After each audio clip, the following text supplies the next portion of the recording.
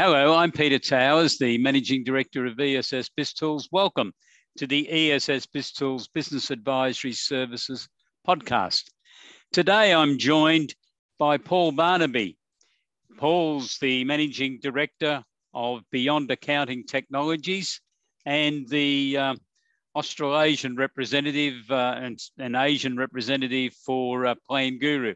How are you today, Paul? I'm just great. Thank you very much, Peter. Thank you for inviting me along.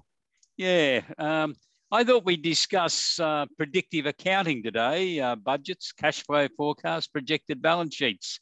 Um, you have a, a, passion for this sort of work, don't you? Uh, I absolutely do, uh, Peter. I've um, I've specialised in this area for uh, um, into 20 years now. It's all I do.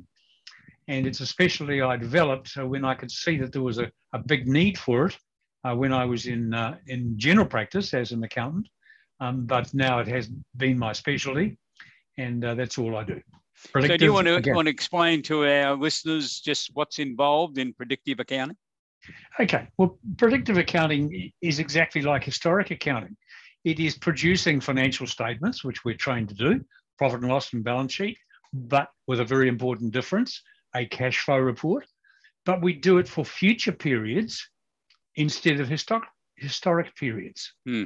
Now, it's been easy for a long time to do the historic accounting, but it's not been easy to do the predictive accounting because uh, we don't have uh, a, a, Xero MYOB QuickBooks equivalent straight up uh, for the predictive accounting. And so uh, it's been a little bit harder to find purpose built tools, but there are tools out there and you must use tools. So that's what predictive accounting is doing in the future for accounting statements what we're used to doing in the past. But it's not starting with uh, last year's figures and adding 6%. Uh, uh, no, no. Obviously, history we have a mind uh, for. We, we need to, uh, and in terms of balance sheets, obviously, we must start from an op- mm. opening position. But no, when I first uh, learned budgeting, that's exactly what I was told. Take last year and add or subtract a bit. Well, come on, Peter, a good guess might do you better than that. That's right. Mm. Okay, so uh, you're looking at the various components of the business, the units of production, the labour team, the um, time taken to sell, uh, debtors days outstanding, all those issues you're factoring into the budget preparation and the cash flow. Exactly right. And that's what the tool should allow you to do. It's what I call key drivers. Mm. But if you translate that to a line by line uh, in your income statement, profit and loss, balance sheet, etc. It's looking at those key drivers. What, what drives this line? What drives the revenue line? We might need to have multiple revenue lines for our products or services groups. We might even need to have multiple budgets for the multiple business units that there might be. I, am looking at a simple, uh, you might think, case study of a secondary college but they actually have 60 departments. Yeah, 60 departments that they want separate budgets for because they've got 60 different people, it's quite a big college, that are responsible for each of those. Mm. And, and that's why. So it's it's horses for courses. You've got to look at the detail, but every line must have that key driver. And is uh, the concept of predictive accounting, uh, I know, is linked back to the business plan, isn't it? Oh, oh, indeed it is. Whatever the strategies of the business owner or owners must translate through into those financial predicted financial statements. Hmm. Shut it's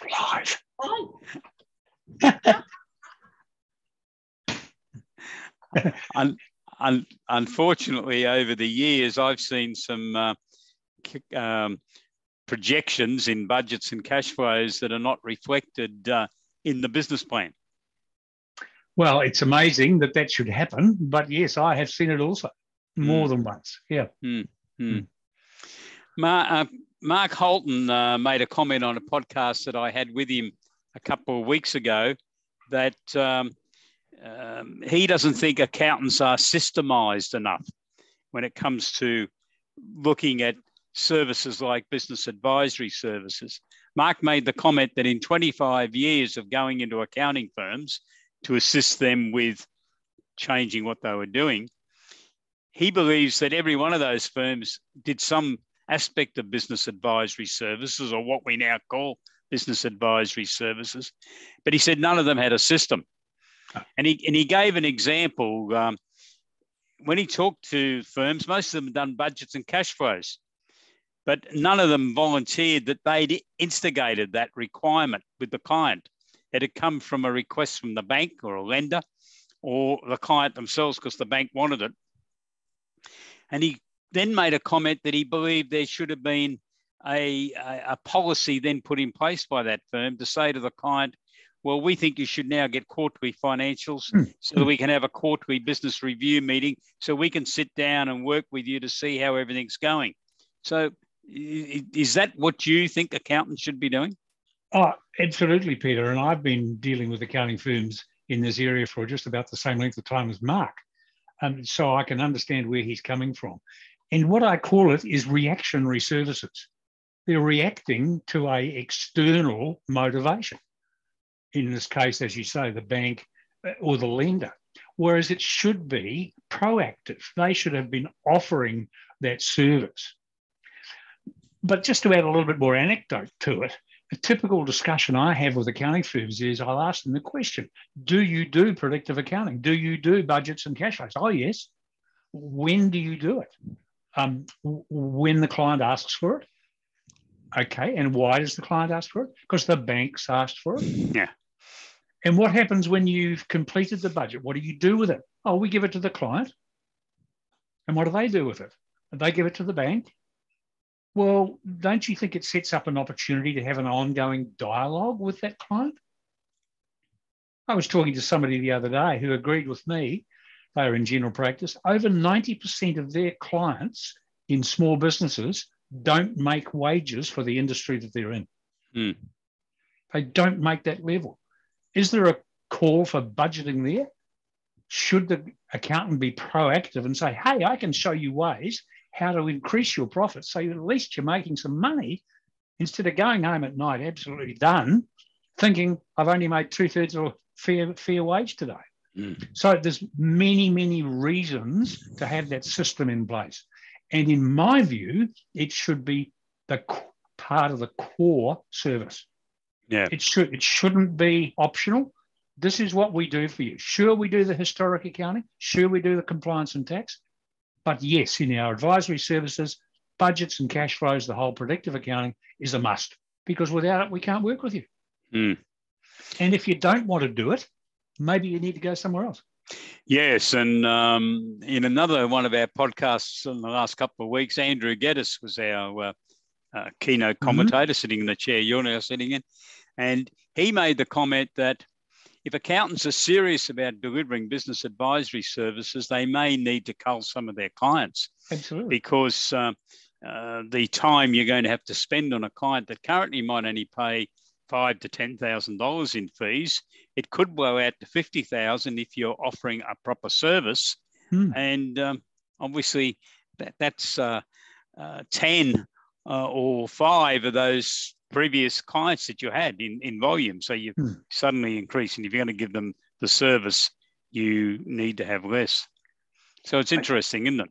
I think the comment I would make too, Peter, is when it comes to business advisory services, too little is made by the accountants themselves of the way they market.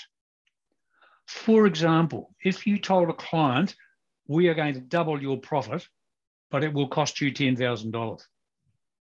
And the client says, oh, I'm never going to pay $10,000. What about if I guarantee that if you pay me $10,000, I'll double your profit? So you'll have, instead of 50,000, you'll have 100,000. And I've guaranteed that. So is your 10,000 fee for me a risk? No way. So there's a simple thing guarantee. I guarantee that it'll work. Hmm. You, you got to, let's put it in the vernacular. You've got to have the guts to put your money where your mouth is hmm. and show these clients that you can actually do that. I think too many accountants don't think they can deliver, so they don't deliver in case they get judged. Hmm. Yeah, interesting point. Hmm it might provoke some comments from the people listening to this podcast. Oh, I we, hope it does we, because we I... look forward to hearing from them. yes. because this is important and it's serious. Hmm. Um, and, and you when you look at accountants going forward, especially if accountants want to have control of this advice area to SMEs, which the CommBank reports are identifying is the growth area. Absolutely. For accountants. They're not, they're not going to grow in tax work. There's more and no. more of it going offshore. It's a little bit more difficult to outsource business advisory services out over overseas, isn't it? I wouldn't even try. Hmm. Yeah. Some components might be able to, but yeah, I think it's a lot more difficult. Mm-hmm. There's a lot more interaction required with the client. Um, there's this concept of business plans, and they should not just be run off a machine. They've got to be thought through. The brain's got to be used. Yeah, and it's too personal a thing. It's got to be done in the boardroom of the client or the office mm. of the client, mm. n- not by an office in Manila. Mm. Because the client needs ownership of all these predictive accounting reports at the end of the day, don't they? Exactly. And that's exactly why it's important that they're involved in the discussions, mm-hmm. especially in those key driver type settings. Exactly right. Yep. Because that's looking at their labour manning, their production, their electricity usage, their gas usage, all these sorts of things mm-hmm. should be factored into there. And the client's the one that's probably got the best idea of what all that's what does what's going to be involved in their business. Absolutely. Yep. Paul, we might turn to another subject if you like. And um, I was quite uh, surprised, but probably not that surprised when I read a report in the Financial Review about uh, six weeks ago, which was attributed to Johnny Wilkinson. Johnny Wilkinson is the joint founder of Equitise, uh, mm-hmm. Australia's joint leading crowdsource funding intermediary. They originally started their business in New Zealand because they got frustrated hanging around Sydney waiting for crowdsource funding to be legalised. So they went across to New Zealand because the New Zealand government introduced crowdsource funding over there about six years before Australia did. But nevertheless, Wilkinson's released a very interesting report, the first one I've seen that an intermediary's actually released to the, to the market, and said that the intermediaries were only um, accepting as being bona fide uh, inquiries about raising crowdsource funding from 5% of the people who um, contacted them. 5%. And out of that figure, uh, only 76% of the 5% uh, actually raised capital. I think that's a very poor reflection on small businesses, small companies in Australia, but probably a very poor reflection on the accounting profession, because either these these client these companies didn't go and talk to their accountant about it, and if so, why not? Do they think their accountant's not interested in what they do in this very important area of raising capital? Or I probably hope they didn't go and talk to the accountant and what, what they took to the intermediary was the results of work done for them by their accountants. But what do you think? I, I thought 5% was a ghastly result. Uh, that is my immediate reaction, Peter. I, I, cannot understand why it is so small because, from my understanding of the crowdsourced funding, while it is not uh, a, a, row of skittles, um, it is not an impossible task and it's a very, very um, available area for smaller business to be to be raising capital, which they otherwise might find difficult um, within traditional traditional lenders. So I'm with you. I don't think they will have approached their accountants. But here's the other um, uh, probably out there statement I'm going to make today. The problem is, in recent years, and I'm going to say the last 10 years, there has been so much um, in the accounting profession reliance on compliance and tax work only that they have created the impression among their clients that that's all they do. Yeah. They yeah. don't do the other stuff. So I can understand that they wouldn't ring them to say, hey, I'm after crowdsourced funding. Can you help? Mm. Because they've probably already said to themselves, oh, God, no, they wouldn't know a thing about that. Mm. That's right. But and this is a real challenge, isn't it? Oh, absolute challenge. And and again, I, I find it uh, so um, surprising that accounting firms aren't making this realization. I mean, would you like to think you're going to spend the rest of your life filling out government forms? Oh, I don't, but no. I, I, don't even do my own anymore. Um, so, so, I didn't set out to be provocative today, but, but that's what it's all about. I mean, if yeah, they well, don't think they can do it, they're not going to ask them to do it. Yes, and um, I hope to interview Johnny Wilkinson in one of these podcasts Good. in the next in the next couple of weeks, and then I'm going to invite um, uh, one of the directors from um, uh, Birchal, who's the the other major mm-hmm. intermediary. Birchal's in Melbourne, to also appear and give us their overview. But I know Birchal were making some similar comments about uh, 12 months ago. Mm-hmm. And uh, so I suspect their answer is going to be basically the same because when you really read Johnny Wilkinson's comments, I think he's contacted some of the other intermediaries. He, he indicates that 5% is what the intermediaries received. And yep. just to not to knock crowdsource funding, because the capital raise in the last 12 months went up 125%. Oh, great. And um, but that was for 65 companies raised mm. 46 million dollars. So it's not a huge amount. There's not no. there's only been a couple of companies raised the full five million dollars. Mm. The average raise is around 700, 800,000 dollars. People can keep on going back. And the intermediaries are probably encouraging them to do that uh, because they can market and promote a, a, a, smaller package. They get the investors in. The average investment amount is tends to be running about two or three hundred dollars per investor. Um, so there's probably a fair chance that in a year's time they'll come back and invest another two or three hundred dollars in a company if they're happy with it. Mm-hmm. Mm. So it's an interesting uh, position. But on my reckoning, about 1,560 companies, when you interpolate the figures, 65 equal 3.6% and do it backwards. I got 1,560, 1560 probably started the journey that never never even got a Guernsey to play in the game.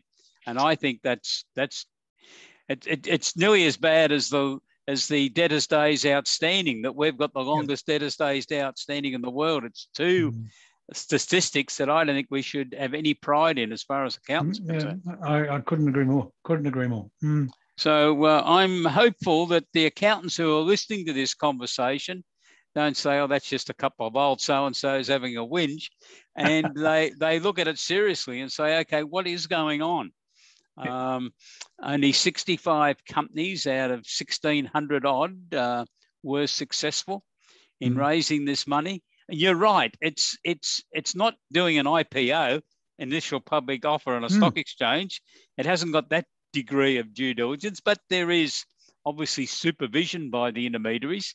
Their responsibility is to try to ensure that the companies that they approve, because they're the approver on behalf of ASIC, uh, have got some legitimate uh, business proposition that they're mm. presenting.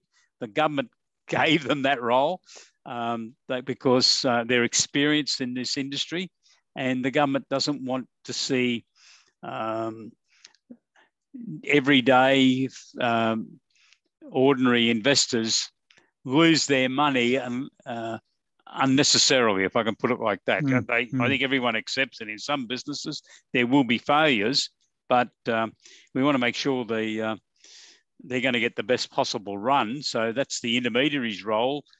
But I would have liked to have heard that, you know, if that figure had been that they knocked back uh, 20%, I think I would have said, okay, 80% got a Guernsey, they're in the game. Mm. But when mm. you hear that only 5%, that's that's pretty low figures, isn't it? It's awfully low. Yep. Mm.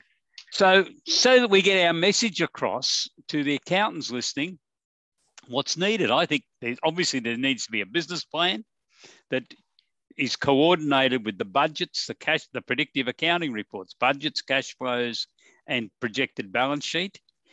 Um, I think a lot of the SME companies that are looking at crowdsource funding should have a mentoring session with an accountant. And, and if, if the listeners can't do it, and the area I'm talking about is corporate governance, please find someone that can. And if you want to talk to me, I'm sure you, Paul, mm. on corporate mm. governance, please contact us and yep. we can arrange that uh, to consult to your clients. But there's also a necessity for a marketing report to be done because what's the basis for any of the figures contained in the business plan in any case, and then reflected in the budgets and cash flows. So there's a whole process of work that's necessary there. The the end document that's got to be prepared is the crowdsource funding offer document.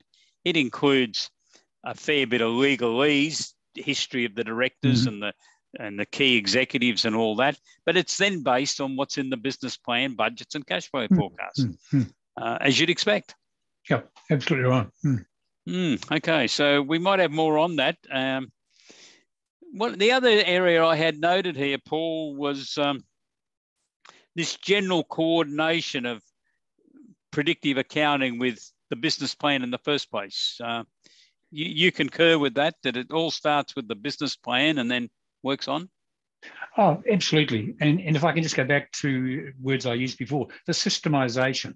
So mm. when you're take, taking business advisory services to your clients, part of that systemization is the predictive accounting. Mm. And, it's, and it's got to start right from, that, as we said before, that dialogue, making sure the client owns it and preparing the documents. So the predictive accounting reports are only part of the whole.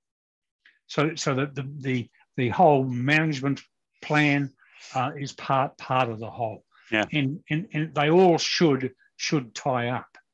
Um, so once the strategies are put in place, so they can be discussed, they can be quantified.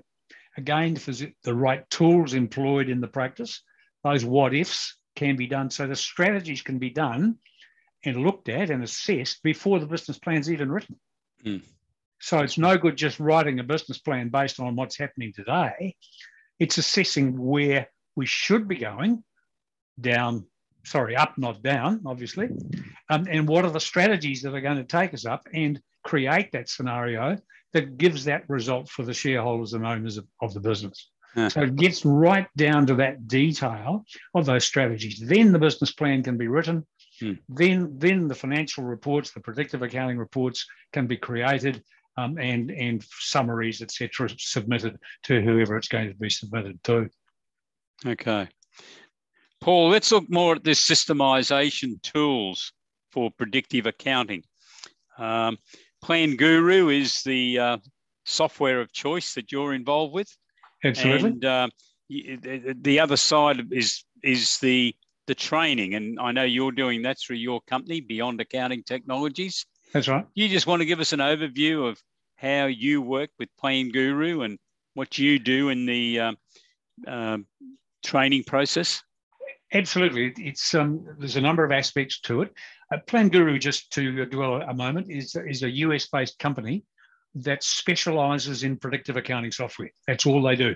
Hmm. And, and, they have, in my view, the out and out best tool available when you compare its features and capabilities um, with its cost. It has quite a modest cost, um, but it has very, very uh, strong capabilities. Um, and just to put that into context, um, Plan Guru costs around $100 a US a month uh, for a core for a core license. Um, an equivalent product uh, that you can get out there is around 50,000 US, and yeah. that's per that's per annum. It's not once. Um, so that puts it into context. The second aspect of Plan Guru that I like is that it is what you want it to be. If you want to prepare a quick budget in 30 minutes based on a few income and cost lines and a core balance sheet, you can do that. And out comes your result. You can see it. If you want to do uh, 30 business units and consolidate them across different countries with different um, currencies, you can do that also. But the key aspect that I bring to Plan Guru is not only do I look after their uh, affairs uh, in the in the time zone down here, but I teach people how to be predictive accountants. Give them the software. Look at other tools that might be necessary. And uh, as you're very very well aware, and by the way, I think I'm just about to get the first sign up um, of the joint venture. Oh, okay, good. Yeah. Um, where uh, what we've done, Plan Guru have uh, heavily discounted their a product for advisors. I'll, I'll talk about that in a moment. Uh, ESS Biz Tools, uh, your good self, Peter, provides excellent documentation and systemization for the whole process of predictive accounting, budgets, cash flows, things like uh, charge out rates for professional firms, tradies, or, or what have you. balance sheet items, work in progress, that sort of stuff. Um, and I provide training. In the case of advisor firms, I do that training one on one. So they don't need to worry about competitive uh, aspects. I do it with them online, one on one, and case study based. So it's very real, very timely. And at the end of it, they end up with a, a certificate, as it says on my background there, a certificate in, predict, in predictive accounting. And all at a very, I think, very modest cost. Mm. Okay. So that's very interesting. And Plan Guru, they're, they're uh, well, they're, they're a company that's spread their uh, influence around the world, haven't they? Oh, absolutely. They're based in the US, uh, but uh, they're available. They're very strong in US, Canada, UK, New Zealand, Australia, but they're available in 50 countries around the world and okay. have, have quite a number of users around the world. Yep. Yeah, yeah. Okay, so um, you want to tell us a bit more about the certified uh, predictive accountant course? Well, it's it's it's a bit of a, a bit of a play on words. Become a CPA, um, but uh, no, there's a serious aspect to it.